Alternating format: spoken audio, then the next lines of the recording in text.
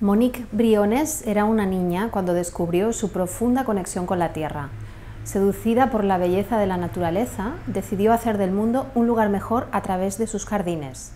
Hoy su paisajismo con alma la ha convertido en un icono internacional que seduce a sus clientes y a las redes sociales con vergeles maximalistas rebosantes de magia, pasión y experiencias.